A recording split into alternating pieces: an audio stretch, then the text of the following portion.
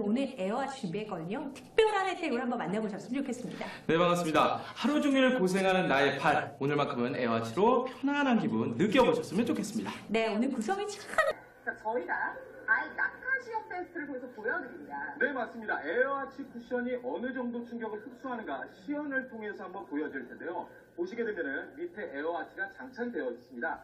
달걀을 위에서 떨어뜨렸을 때 어떻게 되느냐? 아, 쉽게 설명해 드리겠습니다. 깔창입니다. 깔창 안에 두툼한 공기가 들어갑니다.